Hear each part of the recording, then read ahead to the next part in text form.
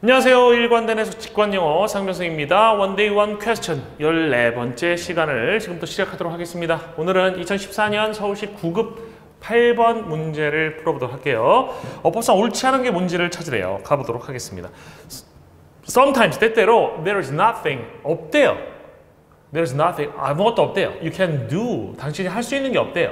To stop yourself from uh, falling ill. 선생님은 그냥 바로 그냥 from이 나와버리는데 To stop yourself falling ill. 너 자신이 어, fall ill이라는 건 아파 아픈 것을 얘기하는 거죠. 네 자신이 아픈 것을 막기 위해서 네가 할 수 있는 것은 없대요. 때때로. 뭐 예를 들어서 감기 안 걸리기 위해서 할 수 있는 것은 뭐, 뭐 열심히 비타민을 챙겨 먹는다든지 과일을 먹고 운동도 좀 하고 충분히 숙면을 취하고 이런 것들이겠지만 어, 건강한 삶을 살려고 노력을 해도 병에 걸리잖아 우리가 그죠? 어. 그 얘기를 하는 것 같네요. But 하지만 여기서 첫 번째 to stop은 뭐뭐 하기 위해서라는 의미를 가지니까 큰 문제 없습니다. 두 번째, if you lead a healthy life, 네가 lead는 여기서 이끌다란 타동사예요. lead는 타동사일 때 이끌다, 자동사일 때는 이어지다입니다. 우리나라에서는 이어지다란 뜻도 이끌다라고 해석하는 잘못된 그 사례들 많이 보이는데 이끌다하고 이어지다를 잘 구별하셔야 돼요. 타동사일 때 이끌다. 건강한 삶을 이끈다면, 즉 영위한다면, 의역하면 you will probably be able to get better. 당신은 아마도 get better, 더 건강해질 수 있을 것이다. 여기서 better는 굿이라기보다는 well의 비교급으로 보입니다. get well, 더 건, 어, 건강해진다는 뜻이잖아요. get well이. 그죠? 건강해지는 게 get well이면 get better는 더 건강해지는 거야. 지금 80만큼 건강한데 90만큼 건강해지면 get better, 더 건강해지라고 표현할 수가 있습니다. 그래서 얘는 굿의 비교급이 아니라 well의 비교급. 그 다음에 much more quickly. 이때 much라는 건 more quickly라는 비교급을 강조해주는 말이 있죠. 비교급 강조해주는 말은 even, much, still, far, by far, a lot, way, yet 이런 표현들이 있어요. 그런 표현들하고 비교급이 쓰이면 강조다. 원급을 강조할 땐 very를 써준다는 거하고 되게 아, 많이 나오는 출제되는 문제의 유형입니다. We can all avoid doing things. 우리 모두는 우리는 모두 피할 수가 있습니다. Doing things 일들을 하는 것을 어떤 일들이냐면 that we know damages the body. 그 몸을 어, 몸에게 손상을 입히는 몸에 손상을 입히는 것을 우리가 알고 있는 것들을 하는 것을 일단 avoid라는 동사 뒤에는 ing 형태 쓰는 거 동명사 쓰는 건 문제 없습니다. avoid ing 이렇게 외우시면 돼요. 우리가 왜 이런 표현도 배웠잖아요. cannot, can't, help, ing. help란 동사 원래 추동사 원형 쓰는 동사 또는 동사 원형 쓰는 동사인데 이렇게 ing 쓰는 경우가 있어. 그때 help의 뜻이 뭐예요? 이때 help의 뜻이 avoid예요.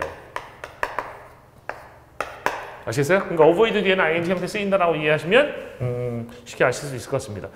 아, 그래서 doing도 문제 없었고요. Things that we know damages the body. 여기 좀 볼게요. 일단 that we know부터 쭉 연결되는 건데 일단 여기서부터 여기까지 관계사로 얘를 꾸며주는 관계사 절이다라는 것을 표시해보고 가겠습니다. 이 문장의 구조를 한번 볼게요. We 우리는 know 알고 있어요. 접속사 대시 있었고요. 그 다음에 they 그것들이 그것들은 여기 앞에 있는 things야. 그것들이 어, damages 이렇게 쓸 수 있어 없어? the body they damages라고 쓰면 돼요 안 돼요? 안 되지. they는 damage가 맞죠.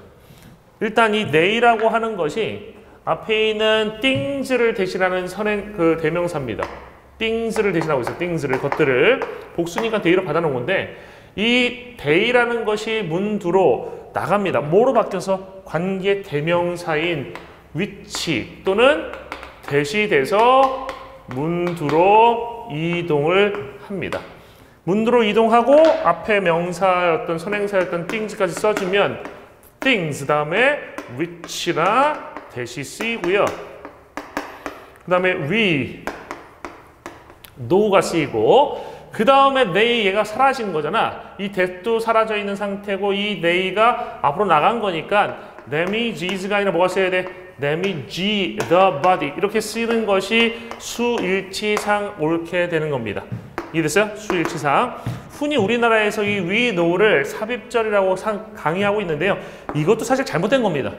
너무 흔하게 잘못된 거라서 이거는 선생님이 뭐 헤어로에서 다루진 않을 거지만 이건 삽입절은 아니고요. 원래 주절에 주어 동사 있고 종속절에 주어가 문으로 나간 형태입니다. 종속절 안에서 밖으로 WH 이동된다라고 표현하는 것이 예예요.